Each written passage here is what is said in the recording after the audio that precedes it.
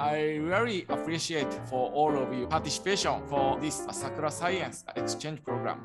Sakura Science Exchange Program is inviting outstanding youth to observe Japanese cutting edge science and technology from all over the world. Uh, my name is Shunta Tomimatsu uh, from TEMDEC.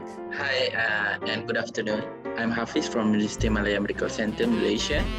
Hi, uh, this is Pramod from Patan Academy of Health. Hello, I'm Gunjan Ranjitkar. Hi, uh, good afternoon. I'm Alvin. Uh, my name is Ria. I am at USCDA. Good morning and uh, good afternoon, everyone. practice make perfect. No work hour. Every day is online meeting. Uh, uh, Mr. Hypocindra, for your nice presentation. So now it is time for Q&A session. So do you have any question? Uh, this picture show exam supervisor using line group video and hospital. Official name Dr. Muhardi on November 10 in Turkey. At the beginning of 2020, when the COVID 1990 just appeared. So we have invited many foreign doctors to our hospital to learn about advanced therapy in Kyushu University Hospital. Genetics is a very small amount. Uh, injuries, uh, serious infections, stroke, uh, and then some are unknown.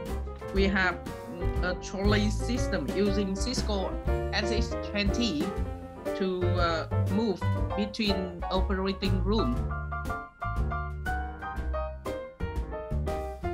Uh, in this time, we are going to use this online whiteboard system.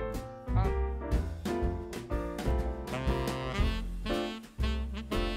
Third one is uh, audio quality.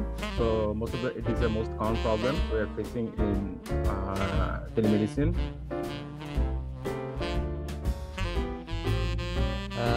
First, uh, thank you again for the invitation to this program. I find this, uh, this program is very good. Uh, I have uh, learned a lot from this group. So uh, that's all my idea, and I hope next time I will have an opportunity to join again. Thank you very much. Okay, thank you very much. So bye bye. Bye bye. Thank you.